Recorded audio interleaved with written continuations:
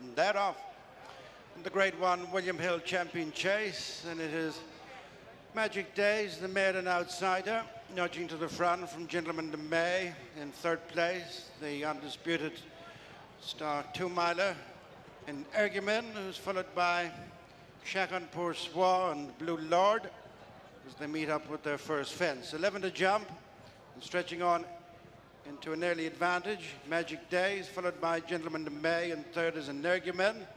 Keeping company at the back of the field, Chacun Pour Soi and Blue Lord. Going uphill to fence number two, and it's Magic Daze, and Rachel Blackmore out in front of Gentleman De Mee and Mark Walsh. Third is Energumene and Paul Townend as they jump that fence. They're followed downhill by Chacun Pour Soi, Danny Mullins, just a place in front of Blue Lord and Daryl Jacob. Continuing downhill to fences three and four, the first of which is a ditch. Magic Daze, spacing out the 500 field, leads Gentleman De Mee and Energumene. Chacun Pour Soi on the inside of Blue Lord. Approaching fence number three, order unchanged. It is Magic Daze into it. Pops it cleanly from Gentleman De Mee and Energumene. Then Chacun Pour Soi, the winner of two years ago, Blue Lord and he's outside. Fence number four, taking them into the back straight. Magic Daze, not so far in front. Slight mistake by Energumene in third. Magic Daze, reeled in by Gentleman De Mee. Third, Energumene, and then Chacun Pour Soi, Blue Lord. Turning down the far side to the first of three fences, seven left to jump. Soon at the halfway stage, Magic Daze, followed by Gentleman De Mee, Energumene, Chacun Pour Soi, Blue Lord. At fence number five, first of three down the far side, Magic Daze from Gentleman De Mee. And third is Energumene and Chacun Pour Soi, Blue Lord. Order still the same.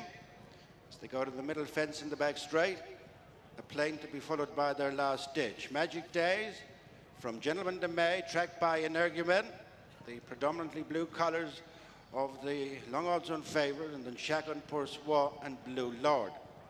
Last fence in the back straight, five from the finish. Magic Daze joined by Gentleman De Mee. A couple of lengths in front of Energumene and Chacun Pour Soi and Blue Lord as they turn out of the back straight.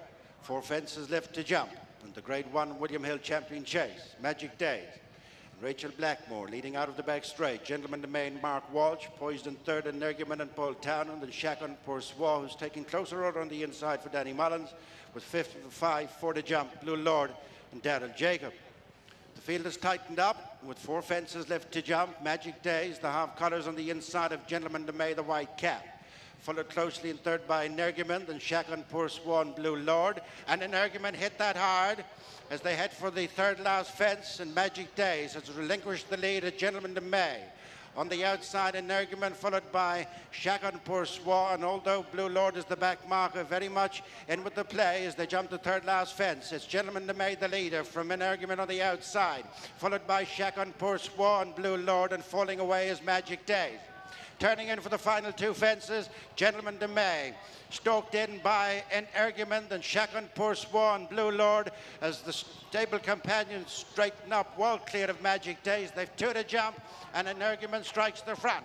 From Gentleman De Mee, Chacun Pour Soi, Blue Lord trying to deliver a challenge on the outside. On the run to the final fence and the William Hill champion chase, Energumene with Chacun Pour Soi coming at the odds-on favourite. Then Blue Lord and Gentleman De Mee. The final fence Energumene and Chacun Pour There's little between them. 150 yards to go. And it's Chacun Pour battling back on the inside as Energumene in a thriller. Energumene has fought back to beat stable companion Chacun Pour Third Blue Lord, fourth Gentleman De Mee. Long way clear of Magic Daze. Willie Mullins ran four this year and they finished in the first four. And Energumene retained his title, but it was actually Pour Soi who gave him the biggest fright, and what a fright it was.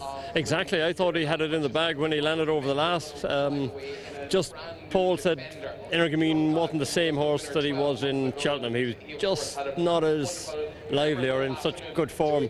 Maybe I'm, I'm, trying to figure out in my own mind what happened, but they went a hell of a pace in front, and I wonder did the first three just go too fast and just Energumene's class and grit got him through. Grit, I'd say, more than anything else. And obviously, Danny and Daryl were sitting in behind, trying to just pick up what they could. And you could see the two of them sitting, looking for third place as they turned for home. And next thing, third place looked like it might be a winner. And Danny took his chance and just, um, I suppose, age caught up with him and, and maybe just a class horse with Paul pulling one out of the fire. As I said earlier, you know, the, the difference between a good jockey and a great jockey is a great jockey can pull a race out of the fire. Paul did that in the Irish National, did it again here today, I think. You know, a lot of people would have said if he fell at the last, he was going to be beaten anyhow. You never know. Paul pulled that one out of the fire, the horse did too. Very much so. Paul was also wondering, although the champion chase to some degree fell apart in that Edwardstone didn't turn up, Yeah. uh, Energumene put so much into his races, and he wondered whether that might have had an effect as well. I think so. I think he was feeling the effects of Cheltenham, and probably, even though the riders are saying the ground is beautiful, which it is, but I wonder, is he getting more ground dependent as he gets older? Does he need it softer? You know, some horses do. Some horses go the other way, but um, I'm just wondering, is he getting more? You know, does he want wetter ground? And you must be so proud of Chacun Pour Soi because he's proved that there's still a lot of life at the top level in him yet.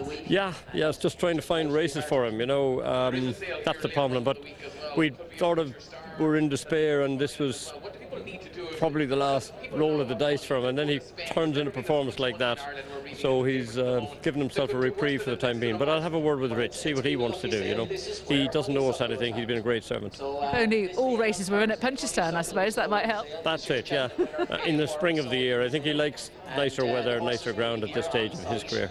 And your thoughts about Gentleman De Mee is that maybe he just did too much. Yeah, because we thought he was really flying. His, he did a lovely bit of work during the week. We thought if Energumene was to be found out, Gentleman De Mee might do him from the front, but possibly with Magic Daze in the race. Maybe the first two went too fast, and maybe then Paul wasn't ever going to let them out of his sight. So it might have worked that they all went too fast. Just it was just Energumene's class got him through. And did you feel it was better from Blue Lord after the Ryanair? Yeah, yeah, but Blue Lord has been disappointing, but he loves that type of a ride, and Daryl just sneaks him into a race, and you know he, he was better again as well. So lots of positives to take from that. I think so, yeah. So we're probably looking at Blue Lord maybe sticking to two and a half next year, two and a half plus even uh, after that run. But we'll have a chat with connections and see. Well, many congratulations. Thanks again. Cheers. Thanks. We've heard from the jockeys who were second and third. Time to hear from the winner. And Energumene has retained his title. Paul Townend was on board. A Few shocks around there, though. He was jumping a little bit scruffily, wasn't he? Yeah, he hit a couple of fences for bells, to be honest, and uh, uncharacteristic of him, really. You know, he made the mistake in Cheltenham, but we were tired at that stage in the Clarence House, and uh, he was fantastic in the, the champion. So uh, I think it showed how good a horse he actually is to do things not perfectly today and, and win because we know how good Chacun can be on home soil as well. I- I know at the time you probably weren't thinking of this, but I bet you're really pleased to see Chacun Pour Soi running so well. Yeah, look, he's he's a favourite of mine, and uh, you know, I, when he got a better jump than me at the last, and it, it looked like we were going to come out the worst of it. You know, it, at least it was going to be one of my favourite horses beating me, albeit we weren't going to give it him that easy. But it was brilliant to see him bounce back to his best, and uh, credit to my horse for pulling it out. Definitely, because Chacun Pour Soi loves it here, doesn't he? And he sees him to, in his best light, and it does reflect great credit on your horse that he was able to get back up. Without a doubt, um, you know, and like maybe we just had a harder race than we thought in Cheltenham. It was such a good performance, but you know, he's a very honest horse, and he, he probably puts it in on the bridle. You know. Congratulations. Thanks very much. Subscribe to Racing TV's YouTube channel now to watch more great races like this.